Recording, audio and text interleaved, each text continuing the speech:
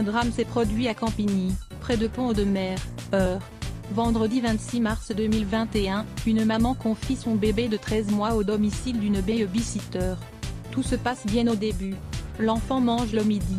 La mère et la nounou ont même échangé des photos ensemble du bébé, explique André Guidaou, second de la compagnie de gendarmerie de Pont-Audemer, à Paris-Normandie. Mais quelques heures plus tard, vers 15h30, le bébé fait une crise et la nounou nous indique qu'elle le retrouve au sol. Suite à cette chute, le bébé est transporté à l'hôpital le plus proche où il décède mardi 30 mars des suites d'une hémorragie intracrânienne due à des faits de violence.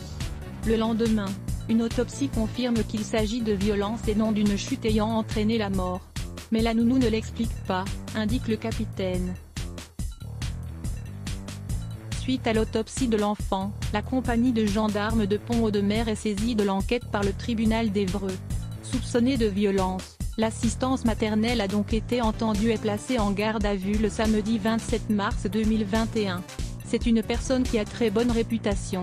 À son domicile, tout est dévolu aux enfants. Les parents l'ont même trouvé sur le site de la mairie, précise le capitaine à nos confrères de Paris-Normandie. Une information judiciaire est en cours pour mettre la lumière sur ce terrible événement. À voir aussi, il réalise le geste d'un enfant gravement malade avec un geste bouleversant à lire aussi laisse bloc ADS. Why?